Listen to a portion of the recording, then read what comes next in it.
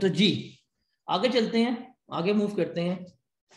आ, अब हम मजीद डेफिनेशन की तरफ़ बात करते हैं और अब हम वर्ड देखते हैं सप्लाई देखें हमने जब एक कंसेप्ट डिस्कस किया था जब हम बेसिक्स डिस्कस कर रहे थे हमने क्या कहा था कि बिज़नेस में जो हम सेल्स करते हैं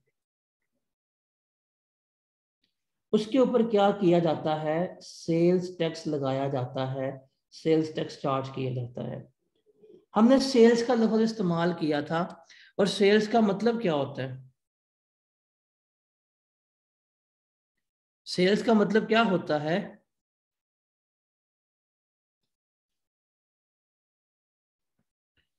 सेल्स का मतलब होता है सिर्फ़ और सिर्फ़ बेचना।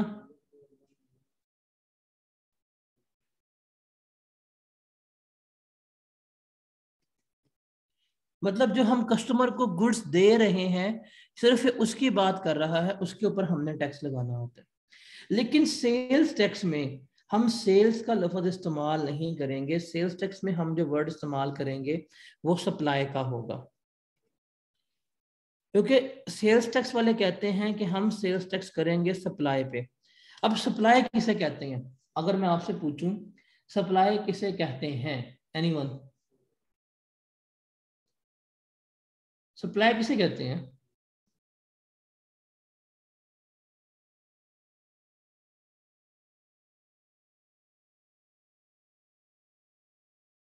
चीज़ें देना, चीज़ें प्रोवाइड करना। अब देखिएगा कि टेक्स्ट में हम सप्लाई को एक्सप्लेन कैसे करते हैं। अब ये पहले डेफिनेशन आपको मिल रही होगी जो आपने क्या करनी है अंडरस्टैंड करनी है। इसको आपने समझना है। याद मतलब रट्टा नहीं मारना, इसको आपने समझना है बिकॉज़ इस डेफिनेशन में से क्या होगा? आपके केस सिनेरियोस जनरेट हो रहे होंगे प्लस न्यूमेरिकल्स में भी क्या हो रही होगी? आपको इसकी मदद मिल रही होगी। तो ये पहली डेफिनेशन है जो आपने समझनी है। इसको रट्टा नहीं मारना, इसको वर्ड बाय वर्ड आपको याद करने की ज़रूरत नहीं है।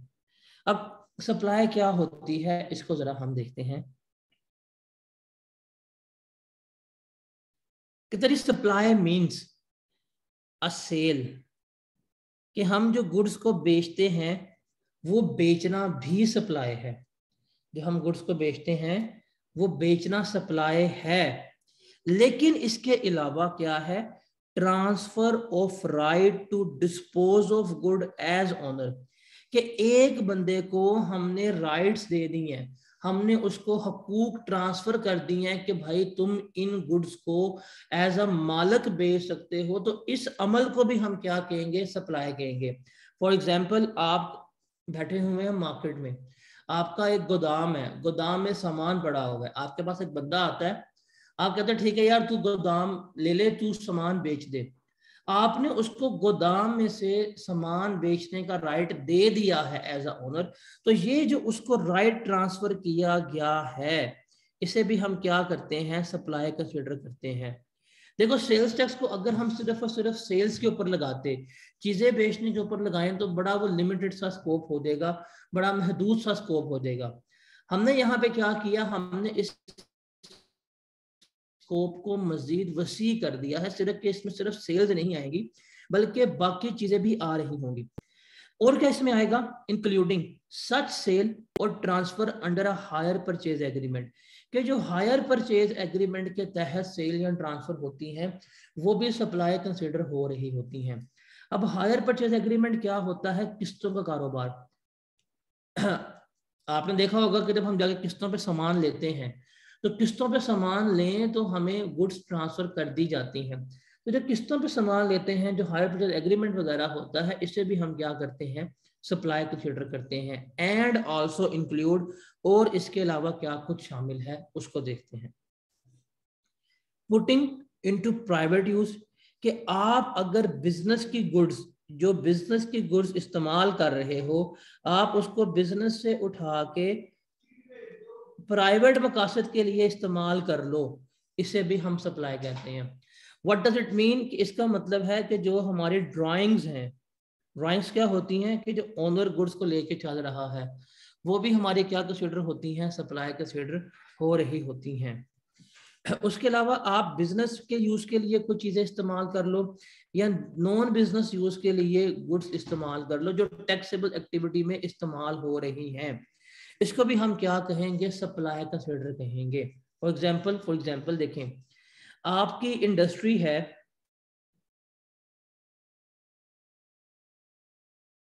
कार बनाने की। आप गाड़ियाँ बना के मार्केट में बेचते हो। लेकिन आपने साथ प्लांट लगाया हुआ है कि आप टायर्स भी बना रहे हो। आप क्या कर रहे हो? टायर्स भी बना रहे हो। आप टायर्स बना के भी मार्केट में बेचते हो, आप गाड़ी बना के भी मार्केट में बेचते हो। अब टायर्स बना के मार्केट में बेचना सप्लाई है, गाड़ी बना के मार्केट में बेचना सप्लाई है। लेकिन इन टायर्स को उठा के इस गाड़ी में लगाना, ये भी क्या कंसिडर होगी? ये भी हमारी सप्लाई कंसिडर हो रही होगी। टैक्स वाले इसको भी सप्लाई मानते हैं। तो आपके माइंड में था सेल्स टैक्स के परस्पेक्टिव से कि सिर्फ़ और सिर्फ़ सेल्स के ऊपर ही लगता है। तो भाई, कहानी बहुत लंबी है, कहानी बहुत गहरी है, अगर आप इसको समझना चाहें। उसके बाद है ऑप्शन और disposal of goods to satisfy a debt owed by a person कि अगर एक बंदा, अगर एक बंदा उसने कर्जा लिया हुआ था, अब नॉर्मली क्या होता है, ये बैंक से होता है बैंक से। आप जाते हैं बैंक के पास, आपने लोन लेना होता है तो जो आपकी इन्वेंट्री होती है, जो आपका स्टॉक होता है, वो आप जाके बैंक के पास प्लेज करवा लेते हैं, गिरवी रखवा लेते हैं। आसान अल्फाज में गिरवी रखवा लेते हैं। गिरवी का सबका मतलब पता है ना क्या होता है? प्लेज का मतलब। जब आप उसको प्लेज करवाते हैं तो आप क्या कर लाते हैं? लोन ले लेते हैं। और आप वादा करते हैं कि हम आपको लोन रीपे कर देंगे तो हम आपसे अपना स्टॉक वापस ले लेंगे। अगर आप ये अपना लोन जो है इसको रीपे ना कर पाए, अगर आप ये अपना लोन रीपे ना कर पाए तो बैंक क्या करेगा? बैंक अपना लोन मुकम्मल करने के लिए, अपने पैसे वसूल करने के लिए, वो आपकी गुड्स को या तो बेच देगा या तो आपके गुड्स को नीलाम कर देगा। ऑप्शन ऑप्शन कहते हैं नीलाम करना। ये जो गुड्स को बेचा जाएगा, यहाँ जो नीलामी की जाएगी, इसको भी क्या कंसिडर किया जाएगा? सप्लाई कंसिडर किया जाएगा। तो कहानी में और इंटरेस्ट शामिल होना शुरू हो गया। उसके बाद ये वाला पॉइंट बहुत इंपॉर्टेंट है, ये शायद आपको अभी समझ ना आए, लेकिन आगे जाके ये आपको समझ आ जाएगा। अगर आपको अभी समझ ना आए, आप इसको स्टार कर सकते हैं। वैसे स्टार मैंने कर दी है। इसका मतलब क्या है? इसका मतलब क्या देखिएगा कि सेल्स टैक्स के तहत ना सेल्स टैक्स के तहत जो सेल्स टैक्स पे करते हैं, जो कलेक्ट करते हैं, वो रजिस्टर्ड होते हैं बंदे। उसको जाके सेल्स टैक्स में रजिस्ट्रेशन का सर्टिफिकेट लेना पड़ता है। अगर वो फैसला कर ले कि जी अब मैंने रजिस्टर्ड नहीं रहना, मैंने अनरजिस्टर्ड होना है। मैंने क्या होना है? अनरजिस्टर्ड होना है। जब वो अनरजिस्टर्ड होने का फैसला करेगा कि मैं अपनी रजिस्ट्रेशन छोड़ रहा हूँ, मैंने फर्दर सेल्स टैक्स एक्ट में रजिस्टर्ड नहीं रहना। जब वो अनरजिस्टर्ड होने के लिए जाएगा, उस वक्त उस वक्त जितनी गुड्स उसके पास मौजूद होंगी, जितना उसके पास स्टॉक पड़ा होगा, अब ये देखो, ये स्टॉक उसके पास पड़ा हुआ है। इसको भी क्या माना जाएगा? सप्लाई माना जाएगा और गवर्नमेंट इस पर टैक्स ले जाएगी गवर्नमेंट कहेगी, ठीक है, आपने रजिस्टर्ड नहीं होना, मानते हैं। खत्म। हम आपको सेल्स टैक्स एक्ट से निकाल देंगे, कोई ज़रूरत नहीं है। हमने कहा, जी, ठीक है। लेकिन कहेंगे कि जिस दिन तुम रजिस्ट्रेशन खत्म करने के लिए अप्लाई करोगे, उस दिन जितना तुम्हारे पास स्टॉक अवेलेबल हुआ, जितना स्टॉक मौजूद हुआ, तुम्हें क्या करना पड़ेगा? तुम्हें उस स्टॉक के ऊपर हमें टैक्स पे करना पड़ेगा। मतलब जो आपके पास पोजेशन ऑफ़ टैक्सेबल गुड्स जो आपके पास गुड्स मौजूद हैं immediately before a person ceases to be registered person कि जब आप अपनी रजिस्ट्रेशन खत्म कर रहे होते हैं तो वो भी क्या कहलाएगी? आपकी सप्लाई कहला रही होगी। उसके बाद manufacture of a goods belonging to another person और the transfer of the goods to the owner to a person nominated by him ये भी हमारी क्या कहलाती हैं? सप्लाई कंसिडर कर रही होती हैं। जैसे अभी एग्जांपल देता हूँ अभी ईद आने वाली है, ईद से एग्जांपल माइंड में आ गई। अभी जो गर्ल्स वगैरह होंगी खातन होंगी, सफ़ेद दुपट्टे ले आएँगी? जाके उनको रंगवा रही होंगी, उनको डाई करवा रही होंगी। अब देखें, दुपट्टा किसका है? आपका। जो अपना डाई कर रहा है, वो आपके भी हाफ़ पे डाई कर रहा है। ये जो बंदा आपके भी हाफ़ पे डाई कर रहा है, वो जो आपको वापस करेगा, ये भी सप्लाई कंसिडर होगी। सिमिलरली किसी और के बिहाफ पे, जिस तरह फोटोकॉपीज वाले होते हैं, जिस तरह प्रिंटिंग वाले होते हैं, अब देखिए मैंने किताब लिखनी है, मैं किताब लिख के रब्ता करूँगा पब्लिशर के पास। पब्लिशर मेरे बिहाफ पे मेरी किताब छाप के देगा। ये जो मेरे बिहाफ के ऊपर वो किताब पब्लिश कर रहा है, ये सप्लाई कहला रही होगी। इसके अलावा किसी बंदे को गुड्स ट्रांसफ़र कर देना जिसको नॉमिनेट किया है, जिसको खड़ा किया कि भाई इसको गुड्स आपने देनी है तो उस बंदे को गुड्स पहुंचाना भी क्या कहला रही होंगी? सप्लाई कहला रही होगी। तो अब से आपके माइंड में था कि सप्लाई का सिर्फ़ मतलब सेल्स होता है। तो भाई साहब सप्लाई के आगे जहान और भी हैं।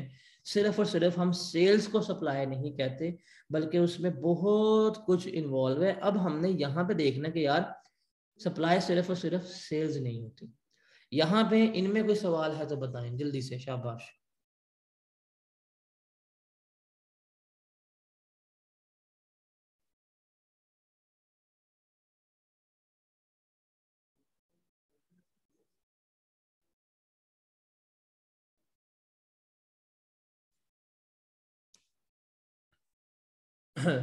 पॉइंट सी का मतलब है कि जब आप अपनी रजिस्ट्रेशन छोड़ रहे हो, जब आप अपनी रजिस्ट्रेशन छोड़ रहे हैं, अब आपने कहा है कि मैंने फर्दर टैक्स में रजिस्टर्ड नहीं रहना।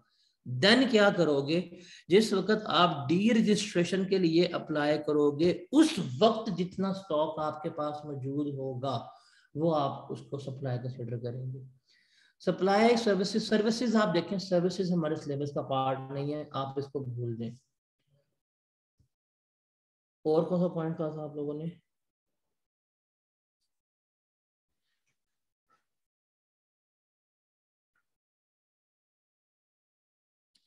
पॉइंट बी का मतलब है कि आपने बैंक से कर्जा लिया हुआ था और आपने अपनी गुड्स आपने अपना स्टॉक जो है था बैंक के पास गिरवी रखवाया हुआ था। आप उस स्टॉक को, उस गुड्स को वापस नहीं कर पाए। तो बैंक ने क्या किया? बैंक ने उस गुड्स को, उस स्टॉक को नीलाम कर दिया अपना कर्जा जस्टिफाई करने के लिए। तो ये जो गुड्स को नीलाम करना है, ये भी क्या कहलाएगा? सप्लाई कंसिडर कर रहा होगा। डी का मतलब है कि किसी और के बिहाफ पर अगर आप गुड्स को मैन्युफैक्चर कर रहे हैं, जिस तरह फोटोकॉपी वाले होते हैं पब्लिशिंग वगैरह होते हैं, वो जो किसी और के बिहाफ पे मैन्युफैक्चर कर रहे होते हैं, उसको भी हम सप्लाई कंसिडर कर रहे होते हैं। फ़र्स्ट लाइन का मतलब है कि ड्राइंग्स वगैरह कर लेना बिज़नेस यूज़ में लगा देना नॉन बिज़नेस यूज़ में गुड्स को इस्तेमाल करना, इसको भी सप्लाई कहते हैं।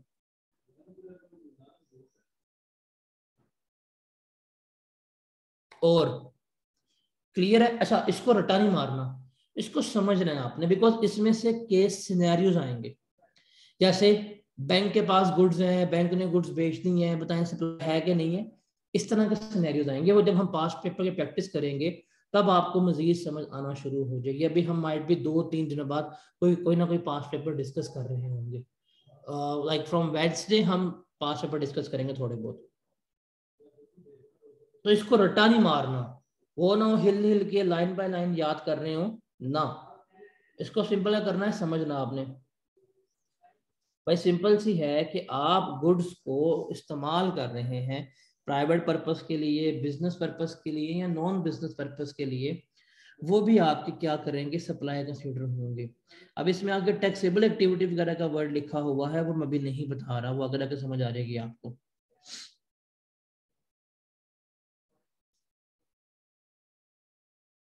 जी जनाब। आगे चले।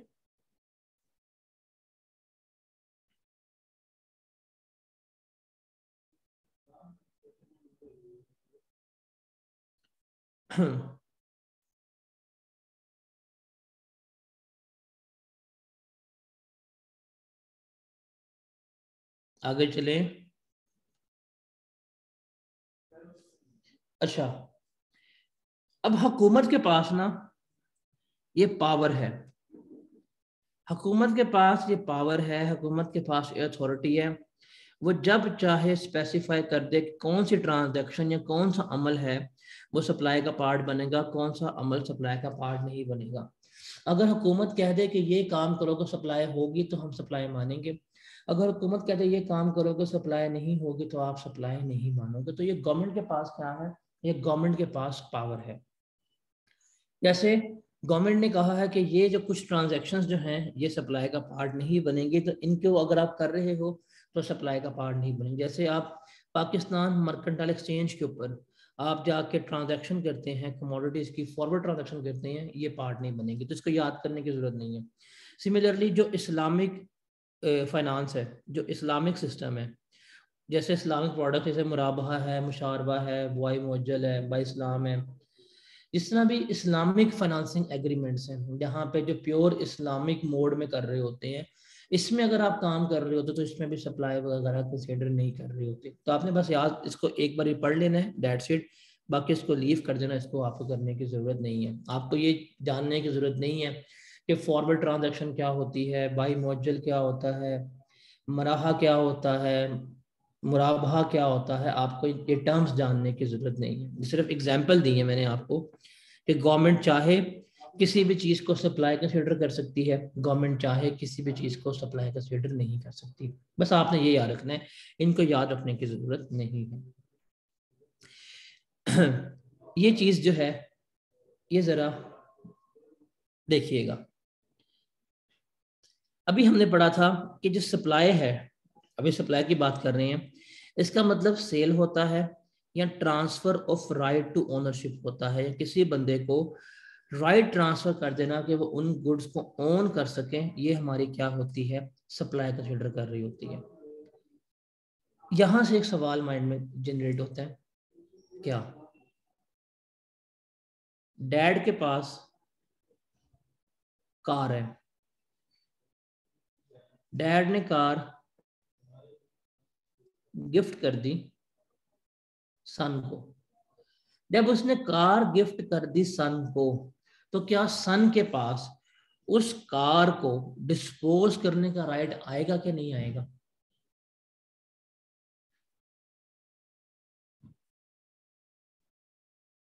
खुद बताएँ, अगर एक बाप ने बेटे को गाड़ी गिफ्ट कर दी, बाइक गिफ्ट कर दी, प्रॉपर्टी गिफ्ट कर दी तो डिस्पोज करने का राइट जो है वो आ जाएगा।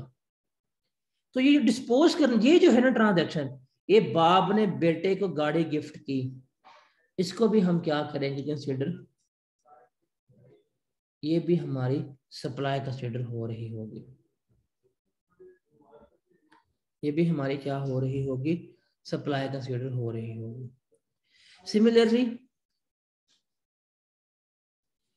जब लीजिंग एग्रीमेंट होता है, जब हम लीज एग्रीमेंट करते हैं, जिसमें जो टाइटल है गुड्स का अगर वो लेसर के पास रहे मतलब जो ऑनर है, जो गुड्स का मालक है, उसके पास ही गुड्स का टाइटल रहे, उसके पास ही गुड्स की मलकियत रहे, इसका मतलब इसको हम सप्लाई नहीं कहेंगे बिकॉज़ उस गुड्स को डिस्पोज करने का राइट जो है था, वो लेसी को ट्रांसफ़र नहीं किया।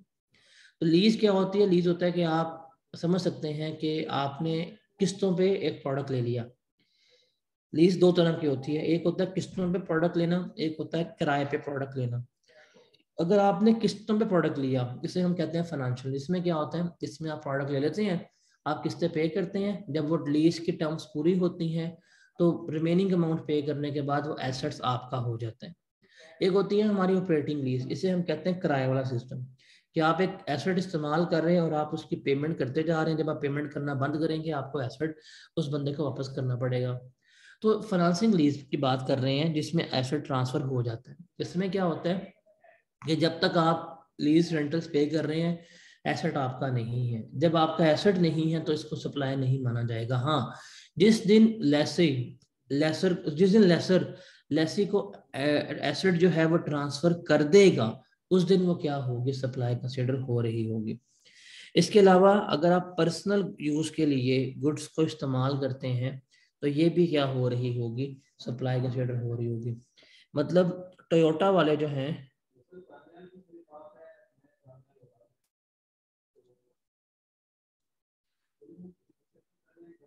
टोयोटा ने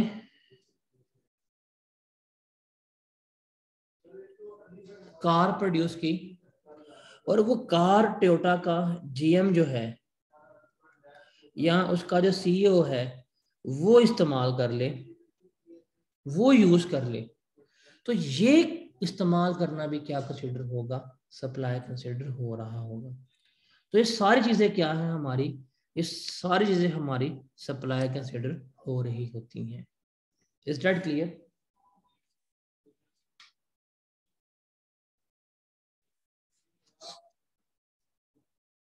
point C drawing है अच्छा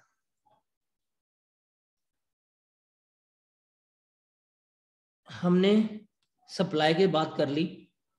हर एक चीज़ सप्लाई है। और सप्लाई के ऊपर क्या लगता है? पहले गुड्स को हम देखेंगे सप्लाई हुई है या नहीं हुई। उसके ऊपर जाके क्या लगेगा? टैक्स लग रहा होगा। तो सप्लाई को हम देखते हैं दो कैटेगरीज में। कुछ सप्लाईज हमारी होती हैं टैक्सेबल सप्लाईज कुछ सप्लाईज होती हैं हमारी एग्ज़ाम सप्लाईज टैक्सेबल सप्लाईज क्या होती हैं कि अगर हमने ये तमाम एक्टिविटीज़ की जो पीछे बात की हैं, अगर वो टैक्सेबल कैटेगरी में फॉल कर रहे हैं तो उसके ऊपर हम सेल्स टैक्स चार्ज कर रहे होंगे। और एग्ज़ाम सप्लाईज क्या होती हैं कि वो सप्लाई तो है एज पर द डेफिनेशन वो सप्लाई तो है, लेकिन उसके ऊपर हम सेल्स टैक्स चार्ज नहीं कर रहे होंगे। जैसे गिफ्ट बेटे को गिफ्ट करना सप्लाई है because right to ownership transfer होते हैं। लेकिन ये सप्लाई जो है वो टैक्सेबल नहीं है एग्ज़ाम है। इसके ऊपर हम टैक्स चार्ज नहीं कर रहे होंगे। तो आगे चके हम टैक्सेबल सप्लाईज और एग्ज़ाम सप्लाई में थोड़ी बहुत बातें डिफ्रेंशिएट कर रहे होंगे। इसमें कोई सवाल है तो बताएँ। इसमें कोई सवाल है तो बताएँ जल्दी से। तो परेशान नहीं होना। कि जो बाप बेटे को गिफ्ट करता है, या बेटा बाप को गिफ्ट कर रहा होता है, वो सप्लाई तो है, लेकिन वो टैक्सेबल सप्लाई नहीं होती। बिकॉज़ सप्लाई के डेफिनेशन इतनी ब्रॉड है कि हर चीज़ सप्लाई में गुजरी है। आप किसी को चीज़ इस्तेमाल करने के लिए देंगे सप्लाई है, आप गुड्स डिस्पोज करते हैं सप्लाई है ड्राइंग्स करते हैं सप्लाई है प्राइवेट यूज़ के लिए इस्तेमाल करते हैं सप्लाई है, हर चीज़ सप्लाई है। तो जान को सुकून कहाँ मिलेगा? जब उसने डिफ्रेंशिएट कर दिया कि कुछ सप्लाई टैक्सेबल है और कुछ सप्लाई एग्ज़ाम है। जो टैक्सेबल सप्लायर्स हैं, उनके ऊपर टैक्स लगा करेगा, जो एग्ज़ाम सप्लायर्स हैं, उनके ऊपर टैक्स नहीं लगा करेगा। इज़ डेट क्लियर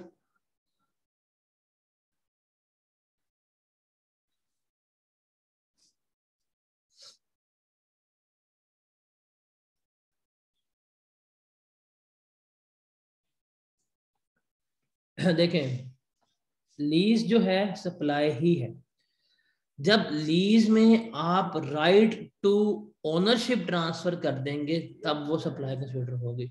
जब तक आपने राइट टू ओनरशिप ट्रांसफ़र ना किया तो वो सप्लाई कंसिडर नहीं होगी।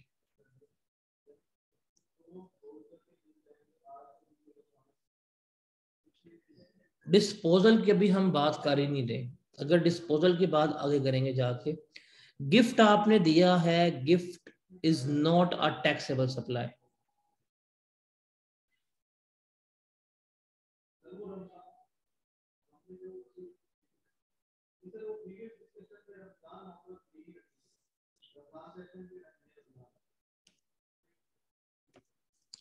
यहाँ पे कोई सवाल है तो बताओ अदरवाइज़ आगे मूव करते हैं।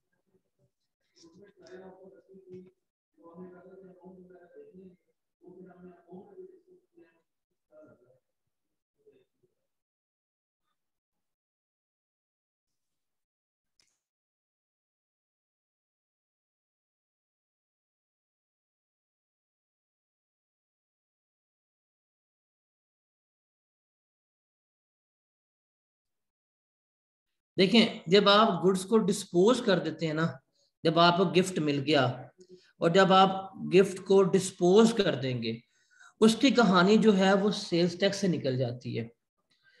डिस्पोज करेंगे, उसकी कहानी जो है वो सेल्स टैक्स से निकल जाएगी। तो इसलिए भी मैं डिस्पोजल की तरफ़ बात नहीं कर रहा। हाँ आप कह सकते हैं कि वो डिस्पोज हो सकता है।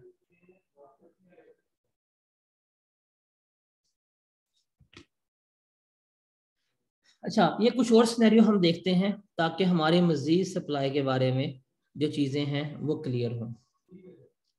देखें, यहाँ पे हम बात कर रहे हैं मैन्युफैक्चर की।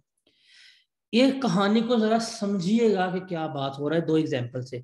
अब यही एग्ज़ाम्पल जो यहाँ पे लिखी हुई है, ये आपके न्यूमेरिकल्स में इस्तेमाल हो रही होती हैं। ये एग्जाम्पल्स ही जो हैं, वो केस सिनेरियोज आ रहे होते हैं। यहाँ पे एग्ज़ाम्पल इसलिए डिस्कस कर रहा हूँ कि जो नेचर ऑफ़ बिज़नेस है, वो बड़ी इंपॉर्टेंट होती है सप्लाई का फैसला करने के लिए। तो नेचर ऑफ़ बिज़नेस बहुत इंपॉर्टेंट है हमारे लिए। कैसे? देखिए, कहता है जी, एक मैन्युफैक्चरर है जो फ्रिज बना रहा है। फोकस करना किसके वर्ड के ऊपर? मैन्युफैक्चरर के। एक मैन्युफैक्चरर जो है, वो क्या कर रहा है? वो फ्रिज बना रहा है। लाइक like, आप एग्जांपल ले सकते हैं। पेल की हायर की डॉलेंस की। ये क्या है? ये मैन्युफैक्चरर है। मैन्युफैक्चर किसे कहते हैं? कोई बताएगा? मैन्युफैक्चरर किसे कहते हैं? एनीवन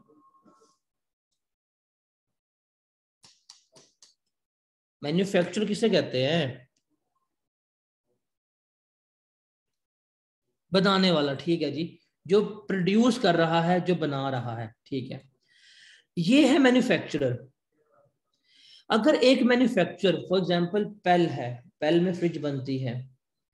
अगर पेल फैक्ट्री के एम्प्लॉयज़ जो वहाँ पे मुलाजमीन जो हैं, वो काम कर रहे हैं, अगर वो फ्रिज ले जाएँ अपनी कंजम्पशन के लिए, अपने इस्तेमाल के लिए।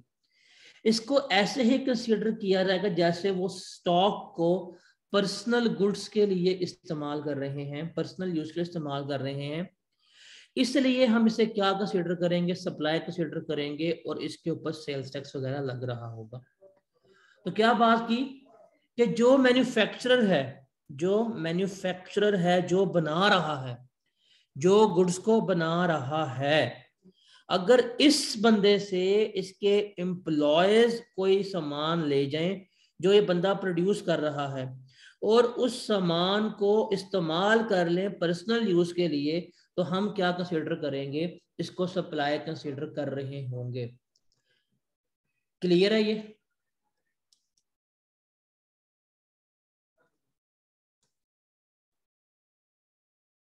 ये क्लियर है? वाइल ऑन अदर हैंड एक है जी A B C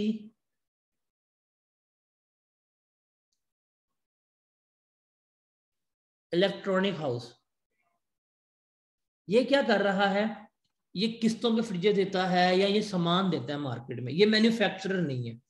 ये बंदा मैन्युफैक्चरर नहीं है। आप कह सकते हैं कि ये डिस्ट्रीब्यूटर है।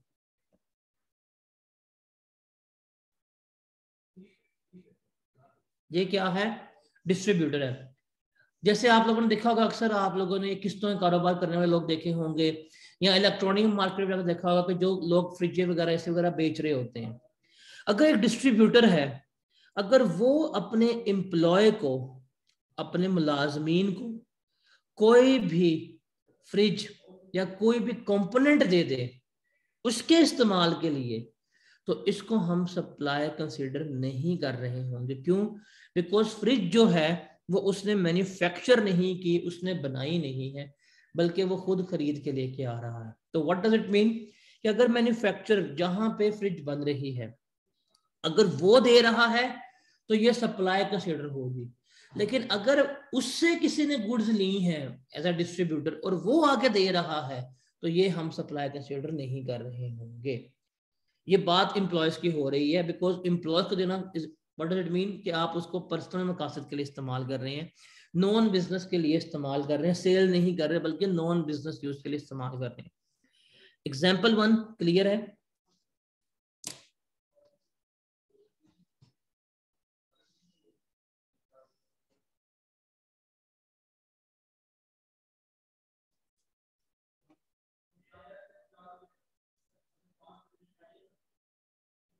Any question in example one?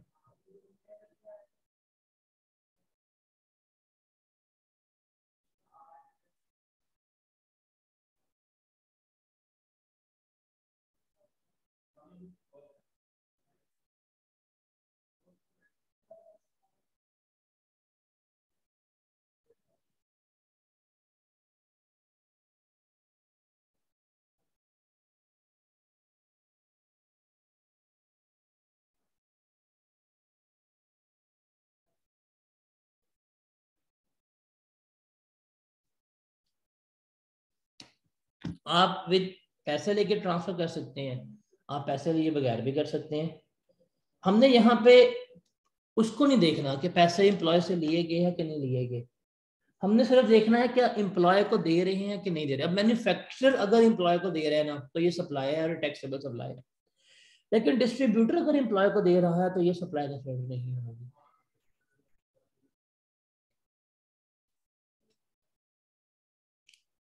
जी जनाब पहले एग्जांपल क्लियर है?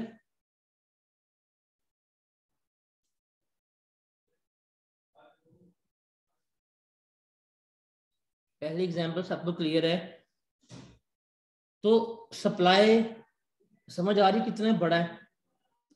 अब जितने भी आपको ये केस सिनेरियोस डिस्कस किए जा रहे हैं, ये सारे के सारे सिनेरियोज हैं और ये पेपर में आपको आएँगे। ये सिनेरियोज जो हैं, ये पेपर में आपको आ रहे होंगे। और इसलिए आपको ये रटा मारने की ज़रूरत नहीं है आपको उसको क्रैम करने की ज़रूरत नहीं है। एग्ज़ाम्पल नंबर टू पढ़े जरा। बताए, समझ आती है जल्दी से? एवरी वन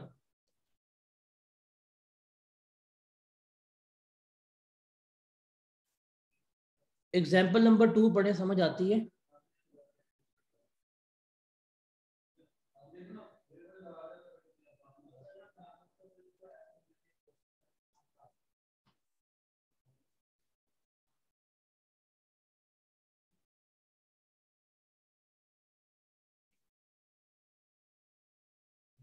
कोई ऐसा बच्चा जिसको एग्ज़ाम्पल नंबर टू समझ ना आई हो?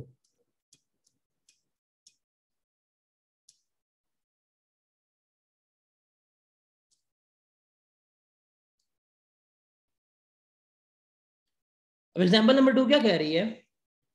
कि एक रेस्टोरेंट है जो कमर्शियल बेसिस पर काम कर रहा है। आप केएफसी की बात ले लें, आप मैकडोनल्ड्स की बात ले लें।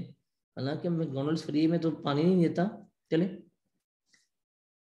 वहाँ पानी भी लेना तो पैसे पे करने पड़ते हैं। अच्छा एक रेस्टोरेंट जो है, वो कमर्शियल बेसिस पे काम कर रहा है और वो अपने क्या करता है, हफ़्ते बाद या महीने बाद जो मुस्तक लोग हैं, उनको फ्री में खाना खिला देता है। ये वाला अमल उस रेस्टोरेंट के लिए क्या कहलाएगा? सप्लाई कंसिडर होगा। क्यों? बिकॉज़ वो रेस्टोरेंट जो है, वो मैन्युफैक्चरर है, वहाँ पे खाना बन रहा है। लेकिन मैं जाता हूँ उस रेस्टोरेंट वाले के पास और मैं उससे खाना परचेज करता हूँ, मैं खा लूँगा। नहीं, मैं खाना परचेज करता हूँ और वो मैं खाना फ्री ऑफ़ कॉस्ट भूखों को खिला देता हूँ, गरीब लोगों को खिला देता हूँ। अभी जो मेरा अमल है, ये सप्लाई कंसिडर नहीं होगा। जब मैं खाना परचेज करूँगा और कहूँगा, अगर ये मैंने खिलाना है भूखों को तो सारे मेरे दोस्त ही आ रहेंगे कि हम भूखे गरीब हैं, हमें खिला दो।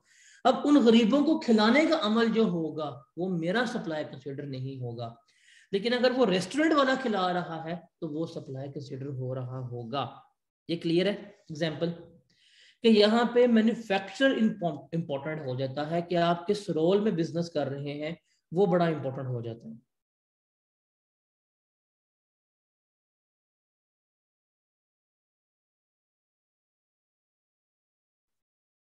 क्लियर है? आगे चलें। अब देखें ये वाला पॉइंट आपको समझ नहीं आ रहा था कि बैंक ने गुड्स बेच दी, आपने ऑक्शन वगैरह की हुई थी गुड्स उसने बेच दी। उसके बारे में जरा हम थोड़ी सी बात करते हैं। थोड़ा उसको भी सीखते हैं। कहते रही कि जो टैक्सेबल गुड्स हैं, अगर वो बिक गई हैं थ्रू ऑक्शन मतलब नीलामी से या वैसे बेच दी गई हैं, कर्जा पूरा करने के लिए इसको सप्लाई मानेंगे। क्या मतलब होता है कि आपने बैंक से लोन लिया था बैंक के पास जाके आपने अपना स्टॉक अपनी गुड्स गिरवी रखवाई थी, आपने बैंक से लोन लिया था। आप लोन रिपे नहीं कर पाए बैंक ने क्या किया, आपने कुछ उठा के बेच दी है। ये सप्लाई कंसिडर होगी। अब इसका मतलब क्या होगा कि ये सप्लाई है, इसको ले लिया जाएगा। सिमिलरली एक पर्सन पर्सन क्या होता है? कोई बताएगा?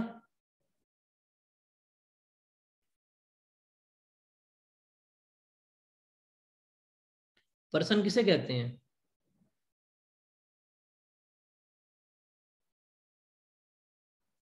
और दस दो, जालमो दस दो। इंडिविजुअल पार्टनरशिप कंपनी इंसान। देखा मुझे पता था, अगर आप लोगों ने कल की वीडियो देखी होती तो आप मुझे पर्सन का जवाब दे रहे होते। जिसने इंसान लिखा है, इसका मतलब उसने इंसानों वाली कोई हरकत नहीं की। मैंने कहा था कि कल के दस मिनट देख लेना। पर्सन कहते हैं इंडिविजुअल को एओपी को कंपनी को, या गवर्नमेंट को। इनमें से कोई भी बंदा पर्सन है। अब देखो पर्सन जो है, इस पर्सन ने हुकूमत को टैक्स पे करना था। हुकूमत को टैक्स पे करना था। ये टैक्स नहीं पे कर रहा। इसको नोटिस दिया, ओ भाई टैक्स पे कर। ये टैक्स पे नहीं कर रहा। इसको दोबारा कहा, ये टैक्स पे नहीं कर रहा। हुकूमत को चढ़ा जोश। इसके हमारा बिज़नेस में छापा। इसकी जो गुड्स थी, जो इन्वेंट्री पड़ी हुई थी, वो थोड़ी बहुत कब्जे में ली और वो बेच के हुकूमत ने अपना टैक्स वसूल कर लिया। किसने कर लिया। कमिश्नर ने उसके टैक्सेबल गुड्स छापा मार्केट में पकड़ी, उसको बेचा और वो क्या था? जो टैक्स उसने पे करना था, वो वसूल कर लिया। ये वाला जो अमल होगा, ये भी सप्लाई का सेटर करवाएगा और इसके ऊपर भी सेल्स टैक्स चार्ज हो रहा होगा। अब हुकूमत क्या कर रही है? हुकूमत अपने पैसे वसूल कर रही है, लेकिन आपसे गुड्स कब्जे में लेके बेच के कर रही है। तो ये अमल भी क्या कहलाएगा? आपका सप्लाई कंसिडर हो रहा होगा। सिमिलरली बैंक भी ऐसे कर लेता है अपना लोन रिकवर करने के लिए। हुकूमत भी अमल कर लेती है अपना टैक्स रिकवर करने के लिए। तो ये सारा कुछ क्या होगा? सप्लाई कंसिडर हो रहा होगा। अब ये पॉइंट समझ आया जो हमने यहाँ पे डिस्कस किया था point number B option of goods वाली का। जी जनाब, समझ आया अब?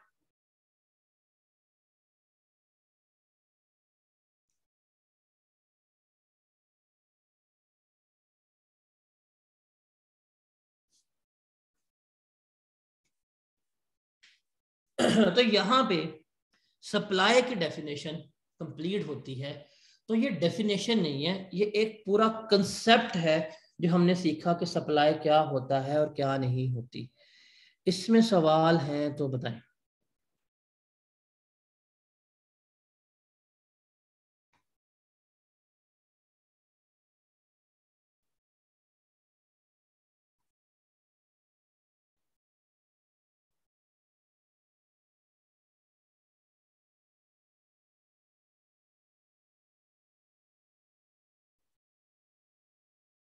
Any question?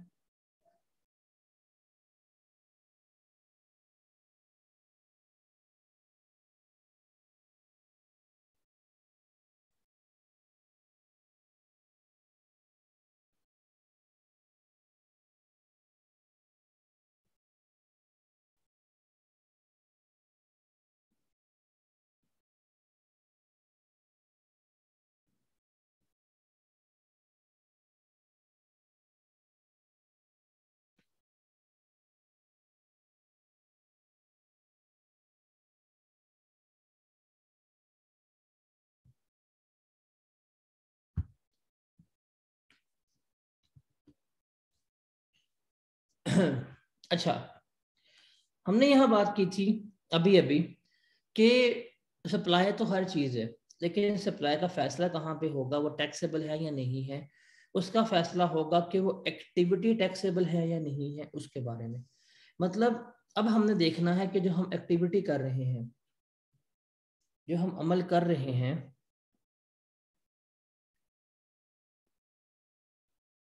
क्या वो टैक्सेबल है या नहीं? बिकॉज़ जो एक्टिविटी टैक्सेबल होगी, उसके ऊपर क्या किया जाएगा? उसके ऊपर टैक्स चार्ज किया जा रहा होगा। अब टैक्सेबल एक्टिविटी क्या होती है, उसके बारे में जरा देखते हैं। ये भी डेफिनेशन जो है, ये आपने समझनी है। इसको अंडरस्टैंड करना है। कहते हैं टैक्सेबल एक्टिविटी क्या होती है? मींस एनी इकोनॉमिक एक्टिविटी जो इंसान कर रहा है वेदर और नॉट फॉर प्रॉफिट ये बहुत इंपॉर्टेंट है। ये प्रॉफिट के लिए भी हो सकती है प्रॉफिट के लिए नहीं भी हो सकती।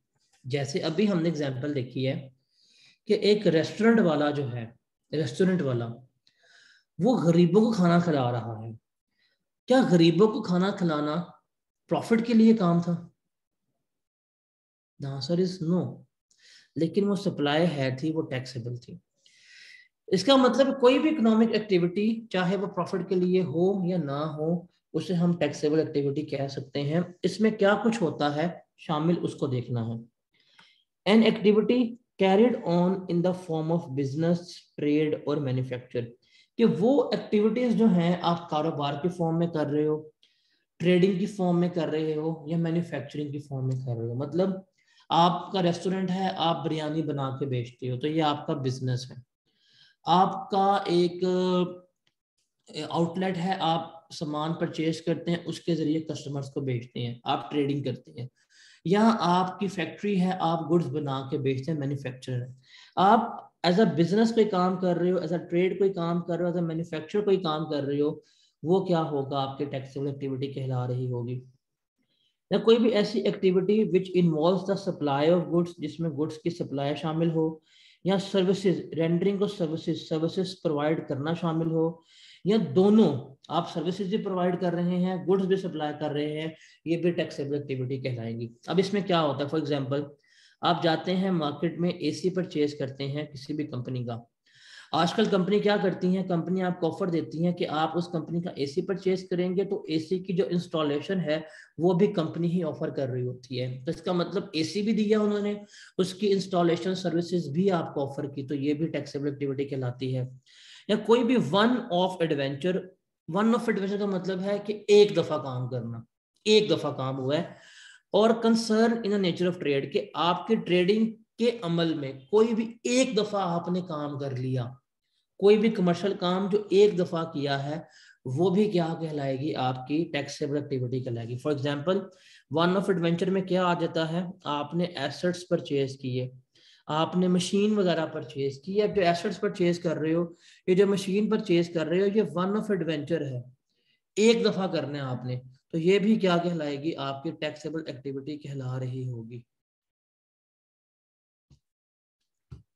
उसके अलावा एनीथिंग डन और अंडरटेकन ड्यूरिंग द कमेंसमेंट और टर्मिनेशन ऑफ़ इकोनॉमिक एक्टिविटी ये पॉइंट बड़ा इंपॉर्टेंट है कि जब आप इकोनॉमिक एक्टिविटीज़ कर रहे होते हो, जब आप इकोनॉमिक एक्टिविटीज़ कर रहे होते हो, उसके दौरान कोई काम कर लो, कोई काम हो रहा हो, या आप जब अपना कारोबार बंद कर रहे हो, बंद करते वक्त कोई काम कर रहे हो या कोई काम हो रहा है तो वो भी क्या कहलाएगी? आपकी टैक्सेबल एक्टिविटी कहला रही होगी।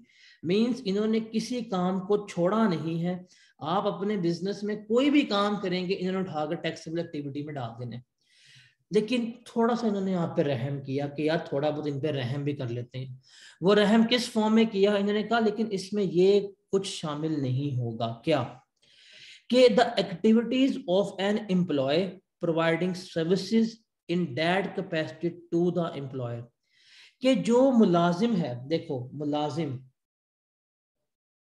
जो सर्विसेज़ प्रोवाइड कर रहा है अपने मालक को, जहाँ पे वो नौकरी इख्तियार करके बैठा हुआ है, ये मुलाजिम की सर्विसेज़ मालिक को प्रोवाइड करना जो है, ये हमारा टैक्सेबल एक्टिविटी नहीं कहलाती। बिकॉज़ वो तो आपका नौकर है वो तो आपका एम्प्लॉय है, वो पैसे ले रहा है, काम कर रहा है। तो ये नहीं होगा कि एम्प्लॉय कहेगा, भाई, तेरे लिए काम किया सेल्स टैक्स पे कर मुझे। ऐसे नहीं हो सकता बिकॉज़ जो एम्प्लॉय सर्विसेज़ प्रोवाइड कर रहा होता है, इसको हम टैक्सेबल एक्टिविटी नहीं मान रहे होते। उसके अलावा कोई भी एक्टिविटी जो इंडिविजुअल कर रहा है as a private recreational pursuit और हॉबी इंडिविजुअल इंडिविजुअल कहते हैं इंसान को, बंदा को या बंदी को। वो कर रहा है as a private hobby private hobby या रिक्रिएशनल एक्टिविटी वो भी सप्लाई या टैक्सेबल एक्टिविटी नहीं आएगी. फॉर एग्ज़ाम्पल मैं जॉब कर रहा हूँ, मैं अपने स्टार्टअप भी रन कर रहा हूँ, लेकिन मैं साथ मेरा एक शौक है कि मैं ट्रैवलिंग करता हूँ, मैं तस्वीरें कैप्चर करता हूँ। अब मैं तस्वीरें कैप्चर करता हूँ और मैं उनको वायरल करता हूँ, कोई आता है, मेरी तस्वीर ले जाता है तो ये मेरी प्राइवेट हॉबी है। ये टैक्सेबल एक्टिविटी नहीं कहला रही होगी। आप ड्राइंग्स आप स्टूडेंट हैं आप कैलीग्राफी करते हैं, आप ड्राइंग्स कर रहे हैं। ये आर्ट्स बनाना स्केचेस बनाना, ये इसमें शामिल नहीं होंगे।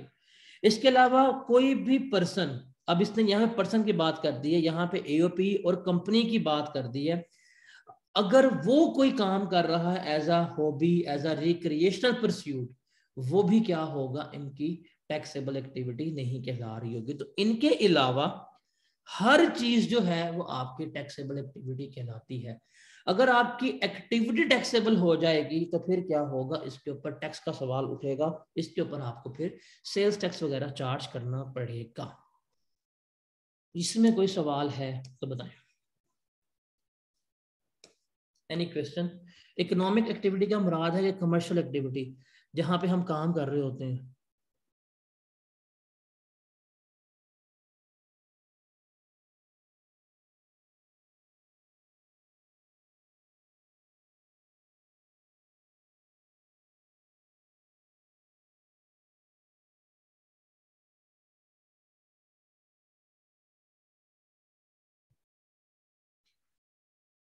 एक्टिविटीज़ में बी और सी समझा दे। डज नॉट इंक्लूड में कि इंक्लूड वाली में। एक तो इतनी ज़्यादा है।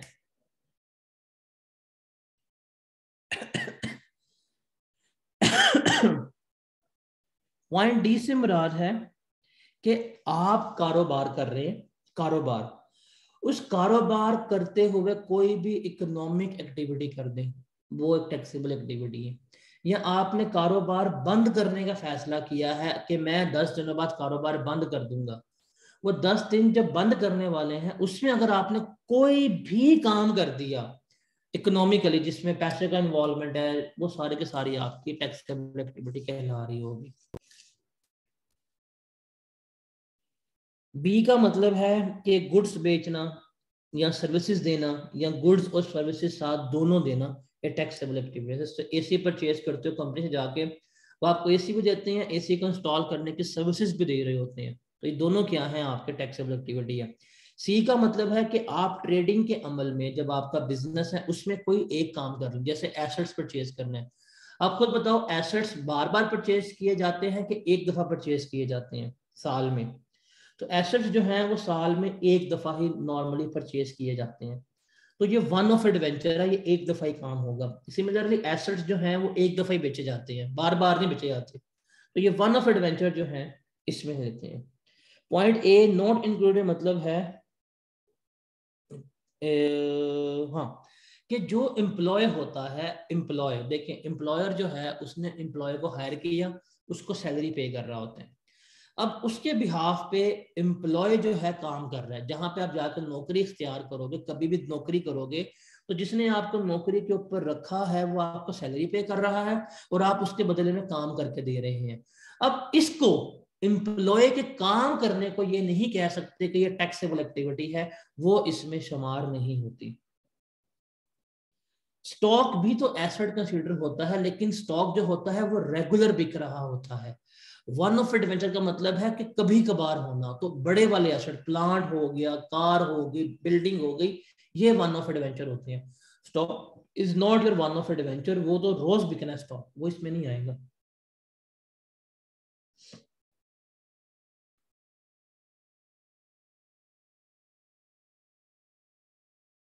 इकोनॉमिक एक्टिविटी का मतलब जो कारोबार कर रहे हो।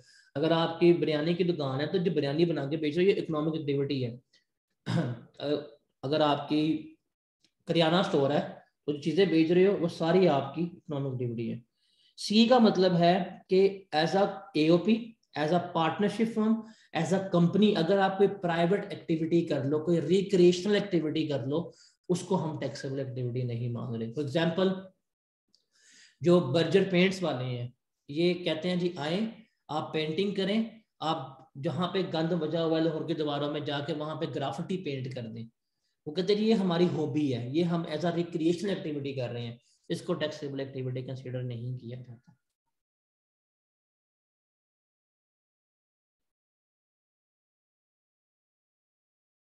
जी जनाब, और कोई सवाल?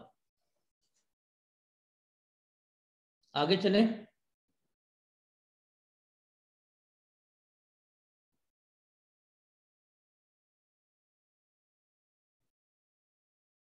आगे चले।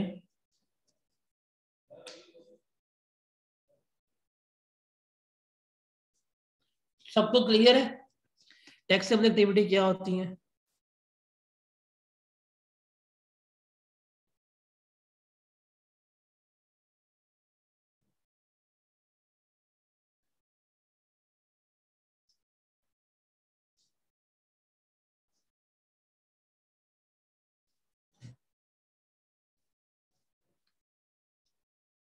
चले।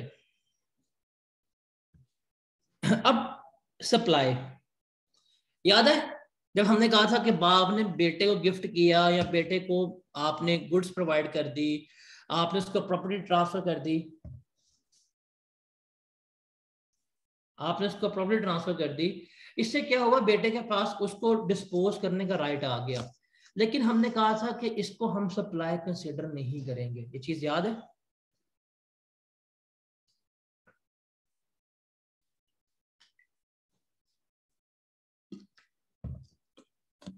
अब हमने क्या देखना है? हमने देखना है कि हमारे टैक्सेबल सप्लाई क्या होती है और एग्ज़ाम सप्लाई क्या होती है। क्योंकि जो गवर्नमेंट है ना उतनी भी जालम नहीं है। उसने इस सप्लाई को कैटेगरीज में डिवाइड कर दिया कि सप्लाई जो है, वो तीन तरह की है। वैसे मेनली दो तरह की है। एक है टैक्सेबल सप्लाईज और दूसरी है एग्ज़ाम सप्लाईज टैक्सेबल सप्लाईज वो होंगी कि जिनके ऊपर टैक्स लगेगा, जिनके ऊपर टैक्स चार्ज किया जाएगा, ये आपकी टैक्सेबल सप्लाईज है। और एग्ज़ाम सप्लाईज क्या होंगी, जिसके ऊपर कोई टैक्स चार्ज नहीं किया जाएगा, इसको टैक्स माफ़ है, इसको गवर्नमेंट कहती है कि जा सिमरन ज़िले अपनी ज़िंदगी तरह से हमने कोई टैक्स नहीं लेना। तो वो हमारी क्या कहलाती हैं एग्ज़ाम सप्लाईज कहला रही होती हैं।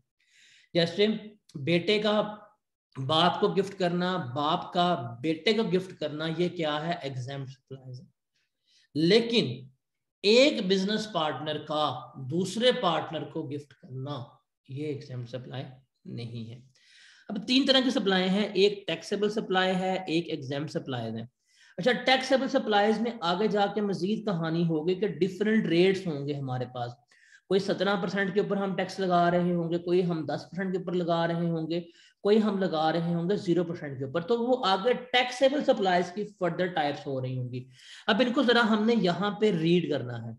ये तीनों बातें यहाँ पे रीड ओनली हैं बिकॉज़ इनकी जाके डिटेल्स हमने आगे पढ़नी है, इनके रूल्स हमने आगे पढ़ने हैं। तो तीनों बातें क्या हैं, ये रीड ओनली है। अब टैक्सेबल सप्लाई क्या होती है, कि टैक्सेबल गुड्स जो इम्पोर्टर ने ली हैं मैन्युफैक्चर ने ली हैं, या होलसेलर ने ली हैं डीलर ने डिस्ट्रीब्यूटर टेलर ने, वो सारी की सारी हमारी क्या कहलाएँगी? Taxable supply कहलाएँगी but does not include exempt good लेकिन इनमें एग्ज़ाम गुड्स नहीं आएँगे। मतलब एग्ज़ाम गुड्स के अलावा कोई भी गुड्स आप बेचते हो, खरीदते हो मैन्युफैक्चर करते हो इंपोर्ट करते हो डील करते हो डिस्ट्रीब्यूट करते हो, वो आपके टैक्सेबल सप्लाई का पार्ट बनेंगी। एग्ज़ाम सप्लाई क्या होती हैं? वो तमाम सप्लाई जो सेल्स टैक्स में एग्जाम्प्ट हैं, जिसके पास सेल्स टैक्स चार्ज नहीं होगा, वो हमारी एग्ज़ाम सप्लाईज हैं। वो कौन सी होती हैं? हमने जाके डिटेल में पढ़ना है सिक्स स्केड्यूल जहाँ पे पूरी हमें लिस्ट दे दी गई है कि ये भी एग्ज़ाम है, ये भी एग्ज़ाम है, ये भी एग्ज़ाम है, ये भी एग्ज़ाम है, पूरी हमें लिस्ट दी गई है। तो हम वहाँ जाकर देखेंगे। And what are zero rate supplies कि ये वो सप्लाईज होती हैं कि इनके ऊपर टैक्स जो है, वो ज़ीरो परसेंट के ऊपर चार्ज किया जाता है। इसको भी हमने जाके आगे देखना है और इसके ऊपर हमने फिफ्थ स्केड्यूल जो है, वो डिटेल में पढ़ना है कि इसमें कौन कौन सी गुड्स आती हैं कौन कौन सी नहीं आती। तो ये सारा कुछ हमने जाके डिटेल में पढ़ना है। आपके लिए सिर्फ़ और सिर्फ़ क्या है, इसको यहाँ पे रीड ओनली करना है, एक दफ़ा पढ़ के आगे मूव कर देना बिकॉज़ हमने जाके हकीकतन में सेल्स टैक्स में इन तीनों के ही रूल्स देखने हैं, क्या होते हैं और क्या नहीं होते। तो इसलिए इसको याद करने की ज़रूरत नहीं है। इसमें कोई सवाल है तो बताएँ। एनी क्वेश्चन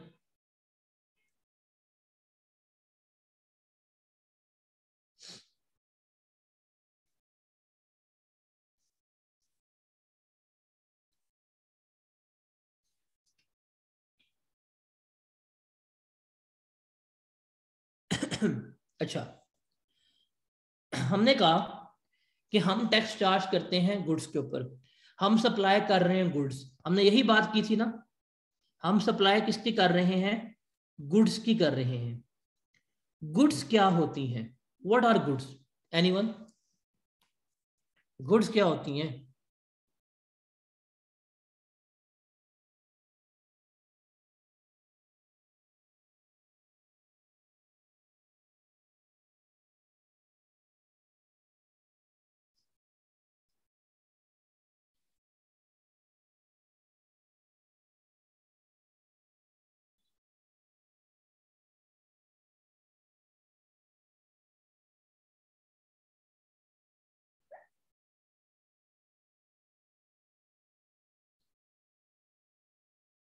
समान। यस ओके अब गुड्स आपके माइंड में वही है, समान, चीज़ें, लेकिन गुड्स को एक्सप्लेन किया गया है। कहता है जी क्या? Goods include every movable property हर मूवेबल प्रॉपर्टी मतलब गाड़ी है फर्नीचर है पेन है माइक है मोबाइल है एवरी मूवेबल एसेट वो गुड्स हैं अदर देन इनके अलावा वो कौन कौन से हैं? एक्शनेबल क्लेम्स मनी मतलब पैसा स्टॉक्स एंड शेयर्स जो शेयर्स होते हैं और सिक्योरिटीज इनके अलावा मतलब शेयर्स वगैरह के पैसे और एक्शनेबल क्लेम्स के अलावा हर चीज़ जो है, जो मूवेबल है वो हमारी गुड्स हैं। बिकॉज़ जो गुड्स होंगी, इनके ऊपर ही क्या किया जाएगा? सेल्स टैक्स चार्ज किया जाएगा। अब सेल्स टैक्स कैसे चार्ज होता है? देखो नंबर वन पे हम देखते हैं क्या ये गुड्स हैं कि नहीं। इसका जवाब होता है यस या नो अगर एक चीज़ गुड्स ही नहीं है तो कहानी यहाँ पे एंड हो जाती है। अगर गुड्स हैं तो हम पूछते हैं सप्लाई हुई है या नहीं हुई? अगर सप्लाई नहीं हुई, कहानी खत्म हो जाती है। अगर यस हमने सप्लाई की है तो कहानी आगे चलती है। फिर हम देखते हैं क्या वो टैक्सेबल है या नहीं है। क्या वो एक्टिविटी टैक्सेबल है या नहीं है? अगर जवाब नो हो तो कहानी हमारी खत्म हो जाती है। अगर जवाब यस हो देन हम क्या करते हैं? इसके ऊपर सेल्स टैक्स लगा रहे होते हैं। तो हकीकत में ये होता है हमारा। क्या? भाई गुड्स हैं। जी गुड्स हैं। सप्लाई की हैं। जी सप्लाई की हैं। क्या सप्लाई टैक्सेबल थी? जी सप्लाई टैक्सेबल जी ठीक है भाई टैक्स निकालो। टैक्स ले लेंगे। अगर कहा, भाई ये गुड्स है। जी गुड्स नहीं है। खत्म कहानी। सेल्स टैक्स आगे चलना ही नहीं है। ये गुड्स हैं, जी गुड्स हैं। सप्लाई की हैं, जी सप्लाई नहीं की। कहानी खत्म। ये गुड्स हैं, ये गुड्स हैं। सप्लाई की हैं सप्लाई की हैं। सप्लाई टैक्सेबल थी, नहीं एग्ज़ाम थी, कहानी खत्म। तो टैक्स लगाने के लिए कहानी हमारी इस तरह से चल रही होती है। अब गुड्स में क्या कुछ आएगा? तमाम मूवेबल प्रॉपर्टी लेकिन कौन कौन सी नहीं आएगी? एक्शनेबल क्लेम्स नहीं आएँगे। मनी मतलब पैसा नहीं आएगा। कभी भी नहीं होता कि आप बैंक के पास जाओ बैंक से हज़ार रुपया लो और बैंक आपको हज़ार रुपया दे और ऊपर सत्रह परसेंट सेल टैक्स भी लगा रहा हो। ऐसा कभी भी नहीं हो रहा था।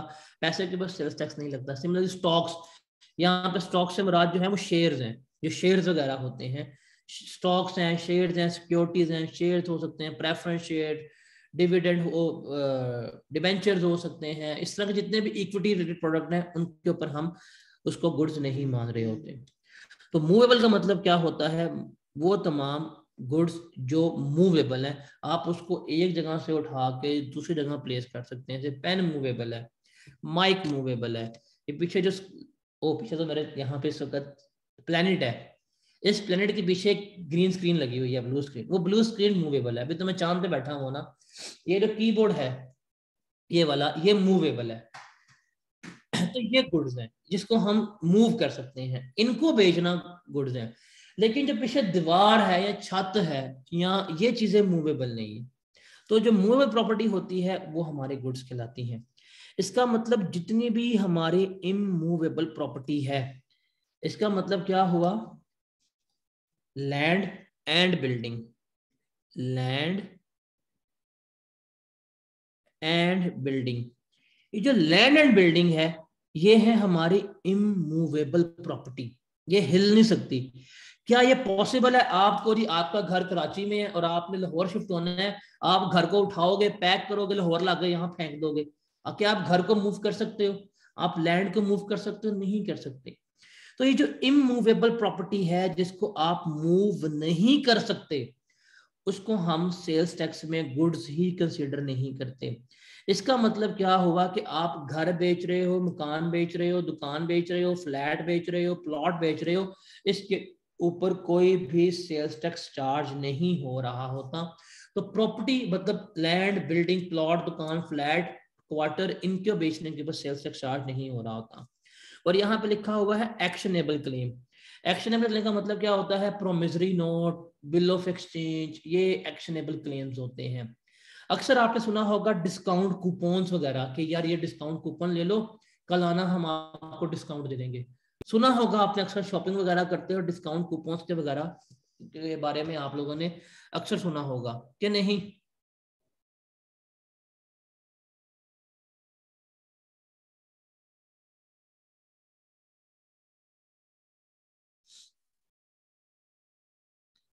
डिस्काउंट कूपन वगैरह मिलते हैं कि नहीं मिलते हैं आपको?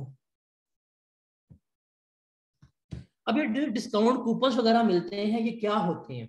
आपके हाथ में एक कूपन है। ये क्या होता है कि आप कल को हमारे पास आए, ये डिस्काउंट कूपन हमें शो करें, हम आपको डिस्काउंट दे देंगे। ऐसा ही होता है।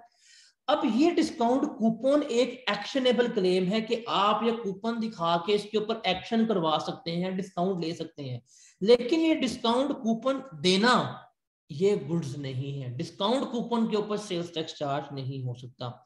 तो ये एक्शनेबल क्लेम्स में क्या आता है? डिस्काउंट कूपन वगैरह होते हैं डिस्काउंट कार्ड वगैरह होते हैं, ये इसमें आ रहे होते हैं। तो ये है गुड्स की डेफिनेशन यहाँ तक हम इसको रखते हैं, बाकी हम फिर इनशाला मंडे को कंटिन्यू कर रहे होंगे। तो गुड्स ये चीज़ आपने बस याद रखनी है कि गुड्स हैं कि नहीं है सप्लाई हुई है कि नहीं हुई टैक्सेबल है कि नहीं है, उसके ऊपर सेल्स टैक्स आपने चार्ज करना है। तो यहाँ तक हम अपनी बात को रखते हैं। मंडे को फिर हम देखेंगे टैक्सेबल गुड्स क्या होती हैं सप्लाई चेन क्या होती है उसके बारे में हम बात करेंगे इनशाला बरोज़े पीर। मतलब आज हमारी आखिरी क्लास है, बिफोर रमज़ान तो नए पाकिस्तान की आखिरी क्लास है। मंडे को हम मिलेंगे आपसे इनशाला पुराने पाकिस्तान में। तो पुराने पाकिस्तान से हम मंडे की क्लास का आगाज़ कर रहे होंगे इनशाला कोई सवाल है तो आप मुझसे पूछ सकते हैं, अगर नहीं है तो हम इसको वाइंड अप करते हैं। लेकिन आप लोगों की सीरियसनेस मुझे शो कर रही है, मैं रिकॉर्डिंग ऑफ़ कर दूँगा। अगर आप लोग सीरियस ना हुए तो लिटरली मैं रिकॉर्डिंग प्रोवाइड करना ऑफ़ कर दूँगा, बाद में आप लोग फिर रोते रहोगे। और ये मैं कर देता होता हूँ। कोई सवाल है तो पूछें, अगर नहीं है तो फिर हम माइंड अप करते हैं। कोई सवाल नहीं है?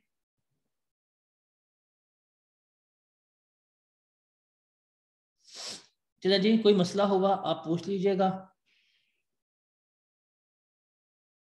देखिए इससे हम बात कर रहे हैं सेल्स टैक्स की।